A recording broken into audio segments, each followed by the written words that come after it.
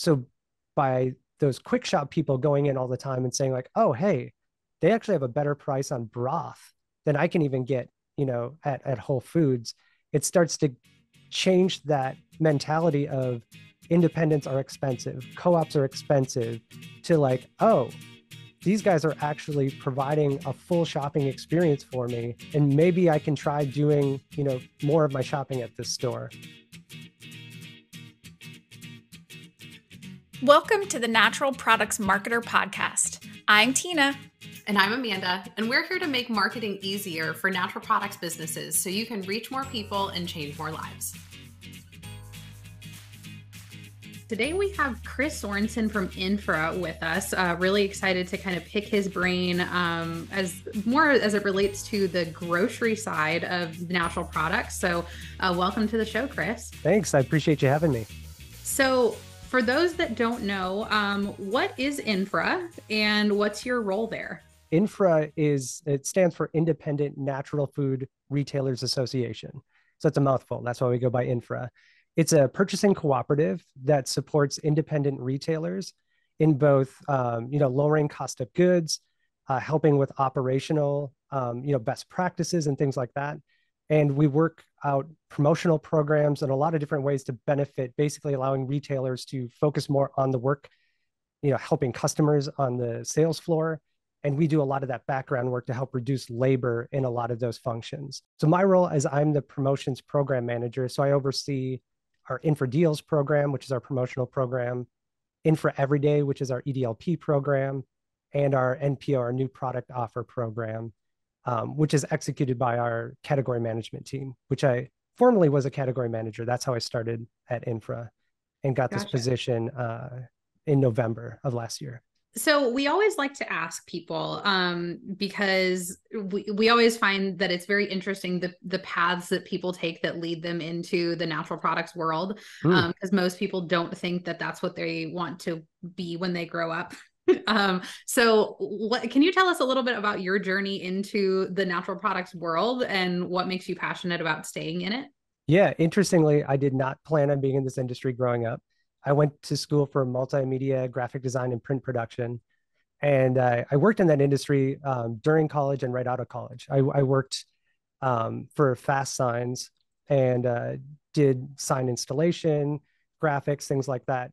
Um, at the time I was working there, um, I was kind of going through some health stuff and found my local co-op, started shopping at the natural foods co-op. You know, I got rid of everything in my cupboard, brought everything organic, natural. So I started living that lifestyle and the more i learned like the people on the sales floor were so fascinating on teaching me all of these things about natural foods and so i learned more about uh, just you know what foods were, would do for you health wise and then as i learned about you know herbicides pesticides glyphosate all of these things while working in a print industry that had a lot of toxic inks and toxic materials I started to think to myself, like, okay, I've, I've gone on this food health journey, but I'm in this industry that is, you know, I'm breathing these toxic chemicals. And I would go home at the end of the day still having that like smell in my nostrils. So there became a point where I was like, okay, I don't know if I'm in the right industry. And um, my wife had actually started working at the co-op uh, in in the deli, and she absolutely loved it and it was really good for for us and i was like okay i wonder if there's a job that i could fit into at the co-op and i checked the website there was a, a job for grocery lead. So i actually I, so i applied for it i got the job i took a pay cut i left the industry of the career i'd been like working towards and was essentially a shift lead of a you know stocking groceries and i figured i would do that for a while and then i'd figure out how could i get back in the print industry um, and you know after my non-compete that i had signed. And i absolutely loved it. I started i figured out merchandising was my first passion in grocery. You know i kind of looked at it as like i was going to go have good work life balance put boxes on a shelf and not worry about things. But i think because of my nature i started like oh there's a technique to this. And the more i learned the more i started improving our um, merchandising strategies at our store and building big beautiful displays and i was like okay this is fun and I can get paid well. I think if I keep doing this, Um, so I became grocery manager within a year. We opened a new store a couple years after that. I became grocery manager at that store. And then uh, I think after building that new team out at the new store, I proved myself with merchandising and all of that, that I then had an opportunity to become a visual merchandising coordinator for this three store now operation. And so I worked on a purchasing team in a support office and I absolutely loved it. I got to learn so much about category management. I got to do a lot of like wellness remodels and wellness resets. I got to work with the meat department and do meat resets and learn about meat merchandising strategies. Same with produce. Um, so starting in grocery, but then being able to really work throughout all the departments was was fascinating, and I absolutely loved it. And then it finally got to the point after 10 years of working at the co-op, I was like, okay, how do you grow from this? You know, and and so I was looking at like how could I still support retailers but do it in a bigger way. And that's really what led me to to Infra. And now I've been here almost two years. That's awesome. Now I love that story. Yeah, Chris, I love that you went from design into merchandising and realized that merchandising is design. Yeah, it totally is. You know, and I I started a planogramming process, and that's where I don't know if you guys know, but planograms are expensive. Mm-hmm. Um, for anyone that has worked with a distributor or worked with another company to do planograms, um, those, you know, I, I was hoping to implement like a, a planogram uh, process at our store, and you know, it was too expensive. So I started using Adobe uh, programs, and I created my own planogram process. And we ended up planogramming the whole grocery department for all three of our stores over a, a year's time. And so, yeah, I did turn merchandising then back into design. um, and that reduced so much time for us to do resets. So yeah, yeah you're totally awesome. spot on with that. Yeah. Well, I love that you have just so much tenure in this industry. Um, I think that that's really valuable, and I I think something that we've we've been wanting to have on this show is someone that that knows more of the grocery side of things. So I'm really happy mm. to have you here, um, just so you can speak more to to that side of of natural products because you know we talk a lot about supplement businesses and things like that, but to you know there's a lot of retailers out there that do both pretty heavily, um, and and others that rely a lot more on on the grocery side of things for for their business model. So um, I wanted to ask you, you know, how can stores that lean more heavily on grocery differentiate themselves, specifically independents, from these these big box retailers? It, it's obvious to me because I came from the co-op side, but local. You know, really uh, being nimble and and focusing on local. Um, I think that's one of the biggest things to help differentiate because uh, even you know the Whole Foods and the big box that have local, they have local that are already distributed nationally, right? So you know the Whole Foods. It, eh, when I go here, I see a lot of the local products that we have in the co-op, but I know they're ones that are distributed through the big distributors. Where the co-ops and the independents really thrive on having these personal connections with these smaller brands, bringing them in, being the first to market with with these brands, and building up these brands to then grow to multiple stores. So I think that's a big differentiator. And also, like when it comes to competition, just making sure that you can do some of the things that the big box retailers do, but then be able to be nimble enough to do better at them. You know, even when it comes to like running an EDLP program or, uh, you know, merchandising your store, merchandising your set, planning for holidays and like seasonally appropriate displays. That's something where I feel like independents can get together with departments. It could be a grocery manager, um, or you know, a grocery buyer, someone in wellness, and someone in produce get together one day and say, "Hey, let's do a really cool smoothie display," and then you can do that later that day. The bigger stores, it's much more bureaucratic to get to do something like that. Um, and that's what I really found joy in is just collaborating with the people within the store and finding fun, cool ideas that we could execute next day, next week, and i think that's builds excitement for the customers coming in. Like we uh, we built a, a display for halloween called frankenkind. And so we took all the kind bars out of the kind boxes and built a nine foot tall frankenstein out of kind boxes and made a sign called frankenkind and people loved it. You know we also built uh, a display of a big castle out of annie's soup cans and called it Canalot. And we had a moldy soup dragon and we had a draw cracker or a drawbridge made out of crackers and that was us just like joking around in the back room having fun and we like executed that for the display the following week So that's not something you can necessarily find in the big box retailers. It's those fun, quirky, cool displays and cool ideas. What I love from that, Chris, is that you're talking about bringing your personality into the design of the store, which mm-hmm. which feels more real and authentic versus you're right. In some of the bigger box stores, it's got to look the same or it's got to go through approval processes. So you're bringing personality out. And the second thing I heard from that is that you're having a ton of fun doing it. Oh, so, oh, yeah. encouraging people who are in maybe smaller retailers with local brick and mortar stores hey, this can be really fun to be different and be exactly who you are. Yeah, I agree. I think that's spot on. Yeah, and I think another thing too that the employees are having fun. It's a it's a morale booster. So as a business owner, it's like when you give your employees, you know, permission to just have fun, it's going to make them better at their jobs and they're going to want to come to work every day and work hard for your business and you probably sold almost all of those kind bars when you built frankenkind yeah and it was for a display contest so we won interestingly enough so we won uh, a bunch of like winter jackets kind winter jackets um, we won hats, we won smocks, all kinds of stuff. Those winter jackets are still at that store, and people use it for stocking out freezer stuff. So I thought that's cool that that legacy still lives on, Frankenkind.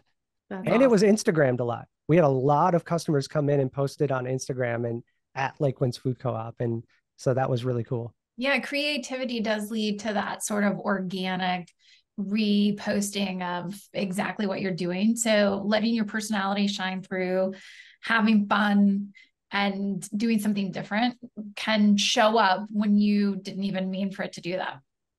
Totally. What are some of the major trends that you're seeing um, in natural grocery right now that we need to be paying attention to? Now that I'm not a category manager, I, I, I guess I'm not as focused in on the like product specific trends. I've been focusing more on consumer insights, you know, and what are consumers looking for and how can independents attract more consumers into their store. And I think a lot of that has to do with we rolled out, you know, Infra Everyday, which is a new EDLP program that we partnered with our distributor KeHE using the brand Cadia, um, which is a mostly organic but a natural brand. Um, so we've rolled out this program, and what I think is really cool about it is it allows us to compete with the big box stores. So the amount of members we have on the program is 200 members with like 314 locations throughout the, the country now have 107 items in their store that are competitive with Whole Foods 365, Sprouts uh, own label, and even Albertsons and like their Safeway stores. Um, some of the items were beating them out on price. Some of the items were pretty close or were at, and there's a few that you know were close enough, but we're a little bit higher. But it allows um, the independents, you know, to really capture that full shop experience because what, what i know even from from my shopping experience and being in the co-op and even shopping some of the other smaller independents around the the minneapolis area is a lot of people go in for breakfast they go in for their coffee they go in for lunch and they don't necessarily do their full shop especially with some of the smaller stores. So by those quick shop people going in all the time and saying like oh hey they actually have a better price on broth than even at my conventional store, or they have a better price on beans, organic beans, than I can even get, you know, at, at Whole Foods. It starts to change that mentality of independents are expensive, co-ops are expensive, to like, oh, these guys are actually providing a full shopping experience for me, and maybe I can try doing, you know, more of my shopping at this store. Because um, I think people just have that like, oh, well, I'll go here because I just know the co-op or the independent, you know, that category is going to be more expensive. And one of the consumer trends is, you know, inflation is high. We we've gone through a big inflationary period. Inflation is reducing month over month, which is good. Um, so we're starting to see uh, growth in infra stores exceeding inflation, which is also good. But the consumer perception about inflation and grocery margins is way higher than than its actuality. So if you think of a grocery department has an average uh, margin of 36 or 38 or even 40 that's how you price things at. You know there's your pricing goal is around that. So if you're um, i would say if your your goal is 36 you're probably pricing things in between 32 and 40 margin you know if you're using a variable margin strategy. Um, but at the end of the day, after you pay the bills, you pay for labor, you pay for everything else, most independents are probably making less than 2% in profit, probably closer to 1%. So the grocery game is not a place to go get rich, right? When consumers see that prices are increasing and they they hear that, you know, a grocery margin is 40%, they're like grocers and independents are gouging. Unfortunately, some of the big boxes are.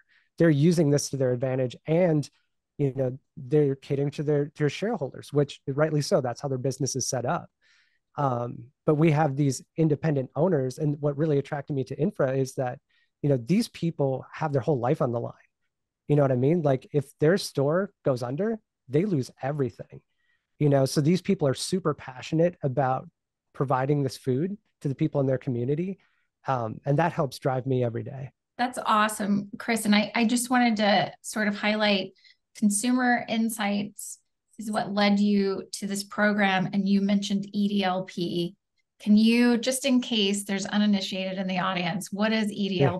Thanks for the jargon check. EDLP is everyday low price.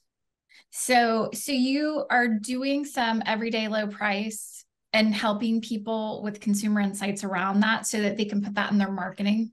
I mean, that's the other piece, right?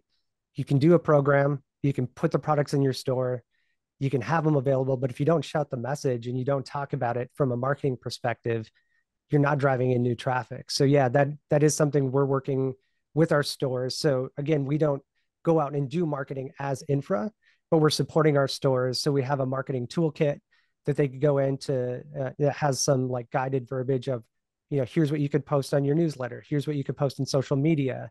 Um, we rolled out a new sign design new signage package at shelf um, and then we've partnered with uh, Cadia, um, the the brand that uh, is the base for the the program, on a lot of co-branded materials, and they're also doing marketing that's uh, B2C as well to get people just to understand that brand and what that means. Yeah, that's awesome because we keep talking to people about there are ways to get marketing materials that don't cost money. so this is perfect to point them to these resources and to give them more ideas for ways to look for and ask for help. Yeah, totally. So, Chris, what do you think um, would be some effective strategies then for these independent grocers to challenge that myth that that the independent you know grocers and co-ops are expensive? What do you think are some things that we can do to to show that we are not that's not that's not always the case? Yeah no it's tough. I think you know it's probably been you know a, a battle that independents and uh, co-ops have been having for decades right? Even the you know the co-op side of people even thinking you have to be a member to shop there you know and then in turn independents also then get that uh, vibe as well. Um, but i think with my background being in merchandising having a merchandising strategy is also a good way where once you actually get people in the store right? So there's the marketing that you do on social that you do in your newsletters um, the, maybe you're doing one of our members does commercials locally um, just to talk about the everyday low price program.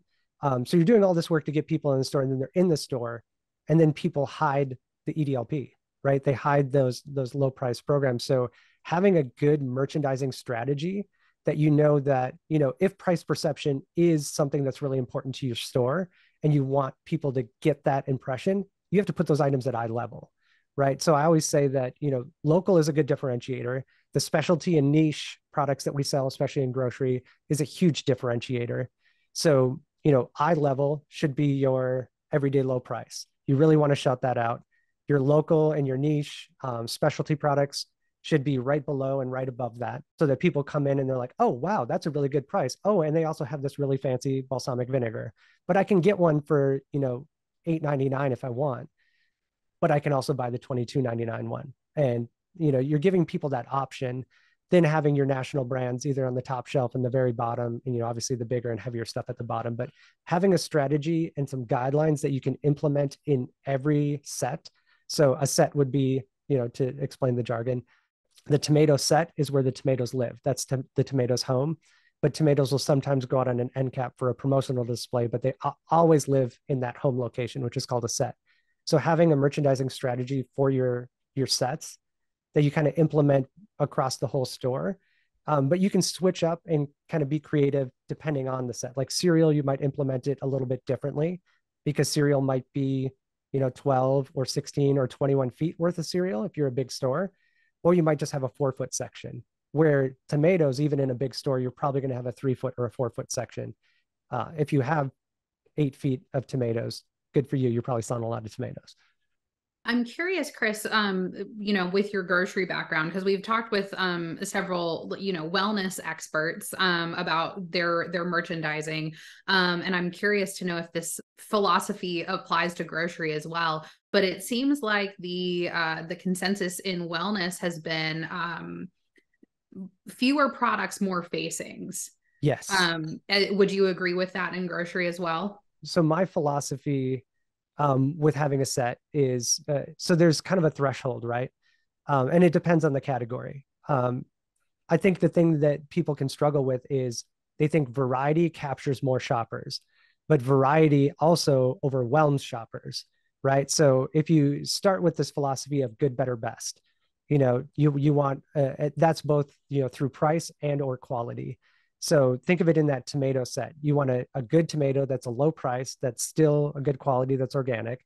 Um, in the case uh, that that we're working with our customers, that's the Cadia brand, right? It's a, a really good product, really good price. And then you want your better, which is probably like a Muir Glen that's owned by General Mills, still really good price, still really good product. Um, and then maybe your better is like a Bionaturae that's you know in glass, a little bit higher end, um, still organic, um, but it's in better packaging, right? So that's kind of a good framework to start. And then in between those, you can have uh, something a little bit better than good, but not quite the better, and something a little bit better, but not quite as best. Um, and some of those categories, you might have a lot more in between. Um, but what I've found in, because uh, I used to teach a merchandising class to all new people that came into the store that I worked at, and simplicity really does sell more product. So if you look at a display, if you were to try to achieve the look of a set on a promotional display, you're not going to get that uh, enticing people to put that thing in the cart as they're walking by. But if you think of like a case stack of popcorn or chips that's 199 and there's three SKUs, uh, stock keeping unit is what SKU is. um, so if you have just three or four, someone's like, oh, well, I like the sea salt or I like the no salt or I like the sweet. They pick the one they like at that price, put it in their cart, and they move on. The decision making process, process is a lot less. When you have too many items in a set, then it's like, okay, well, what really, di- these are all organic. So what differentiates them? Oh, is one regenerative organic? Okay, so that one's the high end. That makes sense. Oh, this one's actually not organic. It's just non GMO certified. Okay, so it could still have glyphosate. Okay, now I'm starting to see the quality difference. Now you have three decisions. It's obvious to make the decision. When you have all three of those things that are all serving the same purpose or the same use occasion or the same purchasing occasion, then you're just making things difficult for your customer. So that's us as buyers um, working in the store to curate that set. And I definitely agree. It's the less is more approach helps with getting more sales. I've listened to a few episodes of your podcast, Chris. Um, so shout out to the buyer's desk. Thank you. Um, but I, I know you guys have talked a lot about um, some of these things like the regenerative organic functional foods or superfoods or regenerative farming. Like, are those things that retailers need to be on the lookout for and be considering adding in items with those certifications um, into their stores? Yeah, I think it's something to definitely be aware of, right? So I, I as you referenced that our second episode was uh, regenerative organic, the new gold standard, as a question mark. Like, is that going to be the new gold standard? Because um, we know organic has been the minimum now for for decades, um, and you know, non-GMO certified came out as kind of like an add-on, you know, and I think people shouldn't get mixed up that you know, not non-GMO is a replacement or even a baseline, you know, for organic because it's it's a different thing. It's a reduction of right something of your product. You know, it's just a reduction of one thing, a GMO. It doesn't you know say anything about is there no glyphosate, is there no herbicides, anything like that. Um, so when you're looking at things like regenerative organic certified, that's taking organic certification to the next level, right? So it's not only just looking at um, you know the spirit of organic, certification, um, but it's going kind of beyond that. And I feel like it's almost adding in these pillars that are kind of overarching and and going even into like uh, fair trade because you know this it's about you know animal welfare, farmer welfare, really focused on soil, and where organic focuses on soil, right? You need to have good soil to be certified organic. You technically need to be in the ground and not in a pot. But where people have uh, kind of worked around the organic certification um, is through hydroponics and other things like that. So there's um, a new episode that we actually have it coming out uh, next week, which as this airs, people can go back and listen to. Um, that we're really focusing on biodiversity and soil health through that lens. And there's a certifier that we have on called the Real Organic Project. And these folks, um, I actually know the uh, one of the farmers on there. I worked with them at the co-op, and they're a free add-on service. So if if a farmer's organic certified, these folks come out and do kind of like an extra layer of vetting your organic uh, certification through the lens of a lot of the regenerative organic certified principles you know making sure that the animals if they say they're cage free they're actually cage free that the farmers are taken care of things are uh, sold at, at a good price and really focusing on the spirit of organic you know and so folks are actually doing what they, they say they're doing. So i think yes retailers need to know this and they need to understand the differentiator of all of these things because the real organic project logo as that comes out on more produce and even uh, I, I, know they have some plans to hopefully get into grocery and package stuff at some point. So you're going to see real organic next to organic usda organic. Then you're going to see regenerative organic next to that. So if retailers don't know and don't understand why all of these certifications are coming out and coming into play and, and the importance behind them then they aren't able to educate the consumer. And ultimately, that's what needs to happen, right? I talked to uh, Nicole Dawes from Nixie when, uh, and she started Late July Organic. Um, and we talked on the podcast. And one thing when I asked her about this, she said, yes, yeah, that is something people need to know about. But she struggled so much with just getting people to understand organic certified, right? And getting people to understand the price and the difference of that. So we still struggle to get people to understand the importance of organic certification. But then when you have a program that has lost some of its transparency and credibility, you need to then fill that void. And one thing uh, Ariel Pressman from the Real Organic Project has said is he's like, I hope I go out of business someday. I shouldn't have to have this job.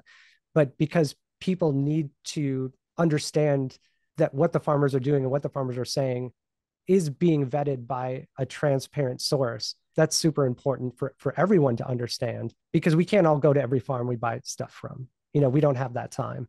So we have to rely on these third party certifiers to do that due diligence on our behalf. And when someone's not doing it, another person will have to step in.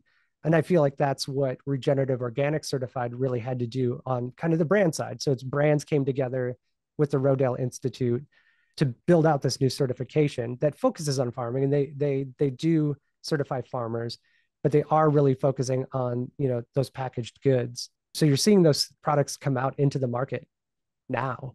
So if people don't understand how are you going to sell and differentiate? Because I, I doubt that some of the big boxes especially when it comes to real organic project are going to know how to educate their consumers on the difference um, so so as independents that's that's why we're doing this podcast and getting this out now so that we're just flowing that education again back to the consumer so that sounds to me, Chris, like this is a great topic for independents to hop into right away. Social mm-hmm. media on their websites and education starts now so that when consumers start to see it show up in the store, they can identify with it and people and their staff can point people back to resources immediately. Like, here's the difference. Here's where you find information.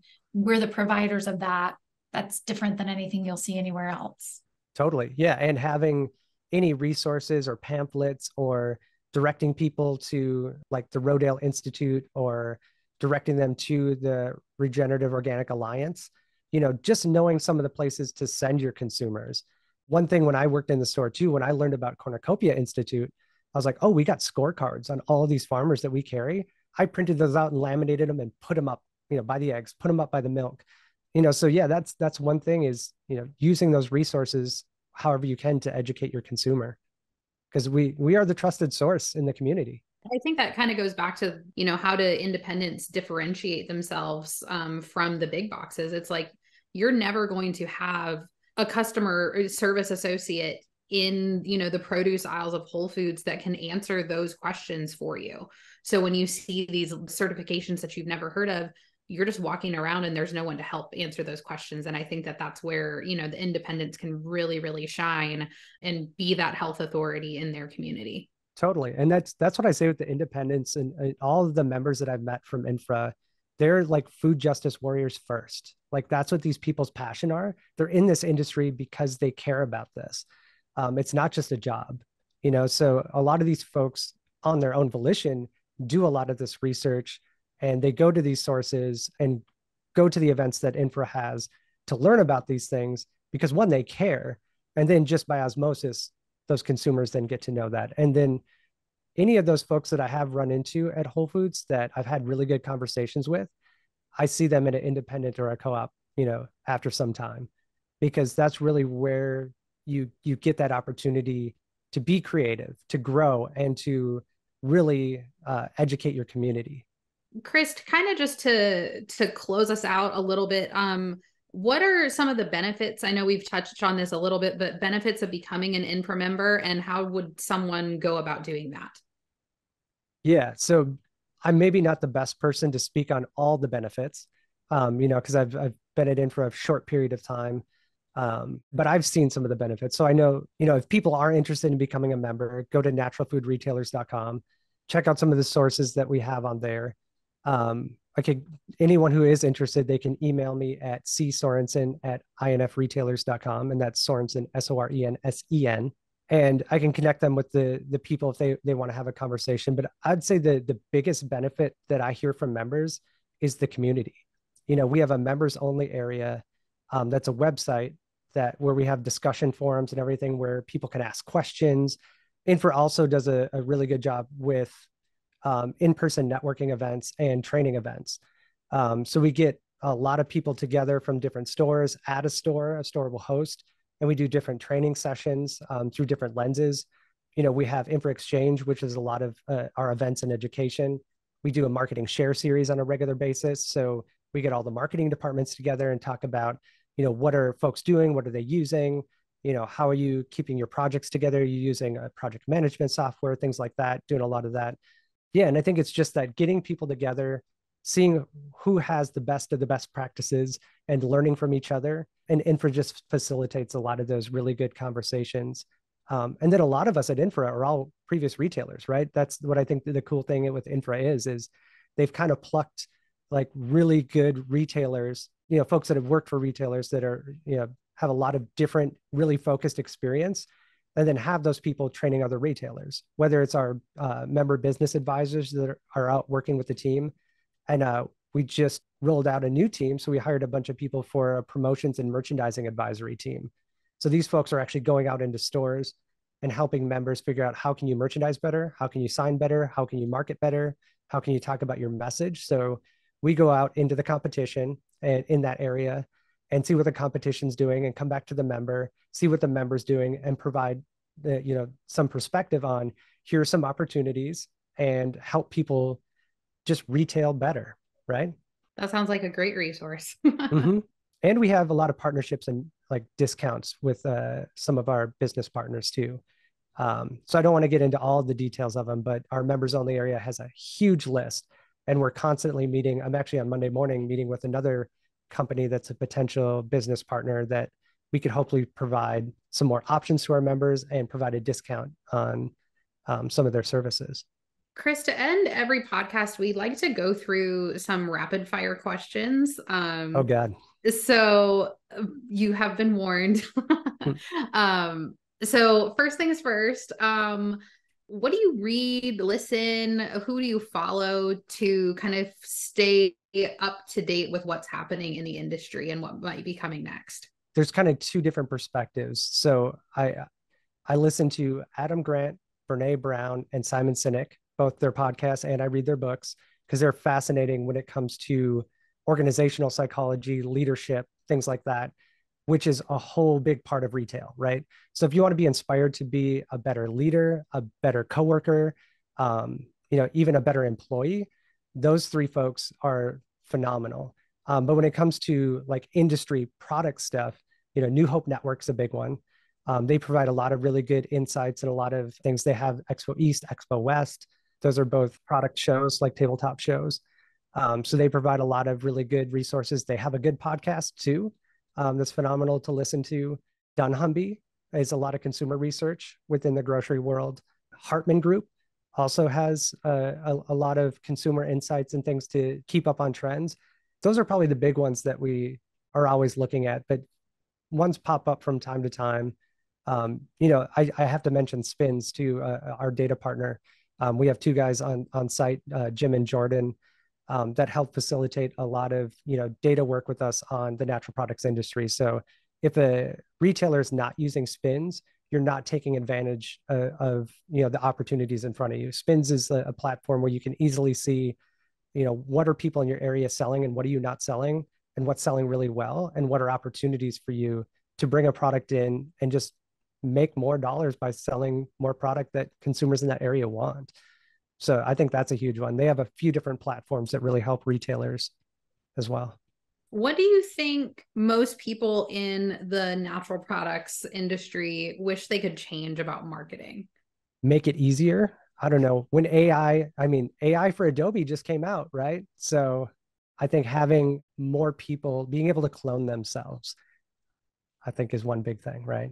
what do you think is going to be the biggest challenge for this industry um, coming up in the next you know three to five years staying relevant and continuing to di- differentiate you know as we figure out what our secret sauce is you know and and keep doing that big boxes retailers are going to find ways to do it right so continually uh, differentiating ourselves in different ways what do you think are some low hanging fruits that um, retailers have just in front of them that could give them some quick wins for their businesses? I think merchandising really well, taking a step back and just really looking at your store through fresh eyes, through customers' eyes, and understanding how your store flow is, how you can merchandise it, and then signing things and just putting signs up in your store, shouting your message, letting people know you know your message but your customer doesn't know your message. So getting what's in your brain in front of people's faces as much as possible without making it, you know, even more confusing, you know, is is something that people can do. You can do that today, later today. Print off a sign and go put it down on the sales floor. You can do that today. If there's people that want to get in touch with you, um, I know you gave your email address. We can put that in the show notes. Um, you have your podcast. How can people find that? Um, search for the buyer's desk um, on wherever you listen to pla- uh, uh, podcasts on any of the platforms. Um, you can also find it at naturalfoodretailers.com under the Who We Are tab. And you can find the buyer's desk there and listen to it through Infra's website. Or you can find me on LinkedIn, uh, Chris J. Sorensen the fourth, Chris J A Y J, and then IV for the fourth. Nice. Because there's so many Chris Sorensens. It's crazy. Search for Chris Sorensen, you'll find hundreds of us. Any recommendations for people that uh, that we should interview for the show or um, topics that we should cover? I think, especially when it comes to supplements and things that I'm learning more about, is just all the different testing that needs to be done for the different different types of supplements. Like that to me is fascinating. The more I've learned about that, um, and what companies are actually using third parties to test versus doing self testing and you know where things actually make a difference because there's some brands that have really reputable testing and some brands that claim they do testing so really trying to demystify like who to believe when it comes to what they're saying about testing. I think it would be a fascinating episode. Um, and she's going to hate me for saying this but i think you need to talk to lauren bartell at infra because she's a wealth of knowledge when it comes to wellness and supplements. So sorry lauren but i think you'd be great on this podcast Thank you so much for spending this time with us today. This has been a wealth of information, and I know everyone who's listening has gotten a lot out of it. So, really appreciate your time and your brain. Thank you so much for inviting me. I appreciate it. Awesome. All right. Thanks, Chris. Thanks so much for listening to the Natural Products Marketer podcast. We hope you found this episode to be super helpful. Make sure you check out the show notes for any of those valuable resources that we mentioned on today's episode. And before you go, we would love for you to give us a review, follow, like, and subscribe on Apple Podcasts, Spotify, YouTube, or wherever you're listening today. And make sure you join us for our next episode where we give you more marketing tips so that you can reach more people and change more lives.